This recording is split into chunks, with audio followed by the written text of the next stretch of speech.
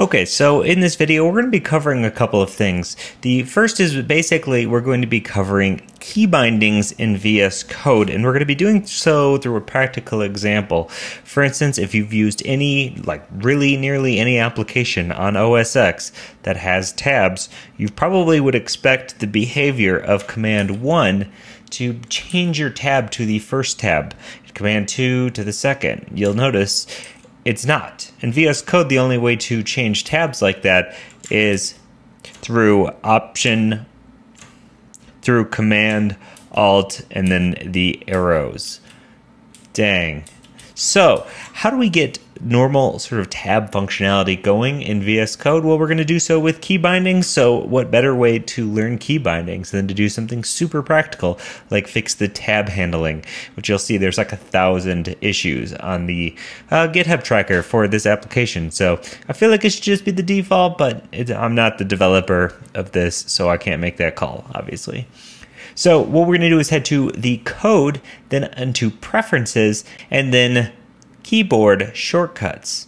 Now you'll notice here we have all of our key bindings, and we could click the pencil here to edit them, right?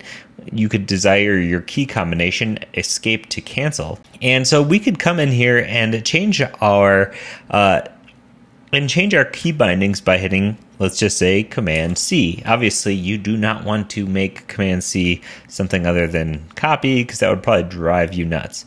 But as you can see here, it's really nice and easy. The interface is good. I mean, it works. You can search for key bindings, you can edit them easily enough, you can see what it is. But let's say we wanted to go ahead and give some more advanced customizations and kind of come in in here and uh, having to edit each of these. So we want to click on this open and edit keybindings.json. Now, let me close our side editor here, and as you can see, we have a giant array in the left-hand column where basically we have uh, let me, uh, the font size is way too huge on this, but let me move this over. You can basically see what we have here is, let's zoom this out just so you can sort of see the structure of this. We have inside of the array, we have an object that basically has a key as well as a command and then a win.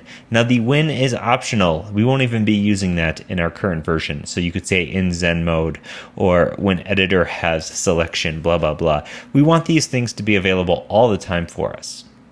Now, what key bindings are we going to be using? Well, you can actually, this is a document, right? This is a JSON document. So we could actually search for stuff. For instance, if we wanted to search for command like command plus the number one, right?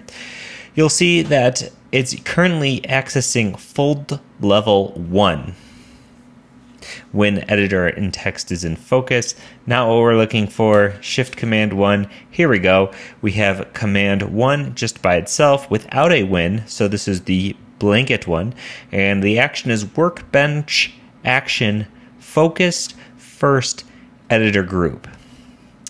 No, that's a bummer. That's not what we want it as. So let me just copy this whole line here. I'm going to copy the entire one here. And now if you're not the type to get in and want to change this stuff, I will have uh, what you need to copy and paste into your keybindings.json. I'll have that just available for you. Okay, so let's move over key bindings. I'll have a link to it in the comment, by the way. You can see we have an array. I'm going to paste this in here. And there's a whole bunch of extra space here. Um, you don't need that extra space. Um, some people like to keep things sort of organized that way. Whatever, get rid of the last comma. Well, nice thing is, is if you have linting on it, will lint, lint this file as well because it's just a JSON file. So now what I want to do is I want to actually change the command one functionality. I no longer want it to be workbench action focus first editor group. That's a long thing to say. What we actually want to change it to is a property that's workbench action, but then instead of focus first editor group, we want the property to be open editor at and then index the number. So open editor at index one. Okay, and you can find all of these properties in this default key bindings. Now, keep in mind, I found this just online as a snippet, so it's not like uh, I knew this offhand or something. And you can save this. Now, and thankfully, my linter took care of some stuff for me. Now, let's actually move this over. I'm going to click over here. I'm going to click on just any one of my files. And now if I hit Command 1, you'll see it successfully jumped us to app.test. Now, when I hit Command .2, it obviously does the sort of default functionality, which is jumping over to the second group.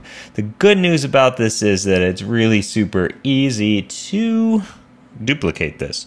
We can hold Shift, we can hold Option or Alt, uh, they're the same key, and we can hit down. Now, by holding Shift, Option Alt, whatever, it copies and moves a line down. The same thing works with the up arrow. It's a super handy, handy, handy uh, little keyboard shortcut there. And we have Command 2, 2.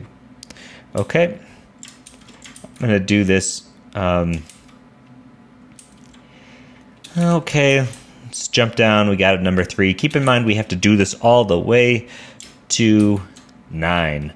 Uh, although you probably don't if you're watching this and you just want to copy this from me, then you don't have to do this. All the way to 9, no biggie. Okay, boom. Okay, I'm to do these next few off camera and then fade into it. Okay, just like that, I have every single command 1 through 9 uh, jumping to a particular index here. I left 0 blank because uh, I don't really want to go to 10th index or something like that. I don't even know if you can, to be totally honest. But as you can see, we have command 1 through 9. We have index 1 through 9. Hopefully I didn't duplicate any of those. And now if you wanted to, you could remap um, the previous one, the focus first editor group, to maybe like control plus one or something like that. And in that case, you would just change the command to ctrl plus one, and then the command is whatever we copied over originally. I don't need to do that because I, I, honestly don't jump between groups that often. Yeah, actually, let's do that. I take that back. I'm totally uh, thinking I would actually do that. Let me come in here and paste this in and whoop, move this over here. So instead of command plus one, we can have CTRL plus one. Control one is now going to change us from the uh, second group to the first focus group. And we can do the same thing with CTRL two. We can change this to second. I don't know, it's kind of interesting that it's second editor group, but over on the other one, it's index one. Like, I feel like maybe they could have done focus editor group one, you know? That's just me, whatever. Okay. Now, again, we can change control three to third. Again, should have just used the number, whatever. Okay. Control plus three now, so this is the contents of this file. Like I said, I'm going to make this available for you to just copy and paste and in your keybindings.json. Important information is that there are uh, brackets here. So you need these array brackets, you need your JSON file to be valid, and this will work. If it doesn't have these things, it will not work. So make sure it's totally valid and works. So now we have our key bindings. I'm going to move this over here so I can illustrate my new control group and I can hit control 1 to hop back over to this group, control 2 to hop back over to key bindings, back again. We're to command 2, command 3, command 5. I just hit 5 instead of 4, 5, whatever. But as you can see here, these are now the default tab functioning that you would typically come to expect from an application on OS X. So not only did we explore custom key bindings in VS Code, but we also made the app a little bit handier to use if you are used to stuff like this. Cool. So this is deep.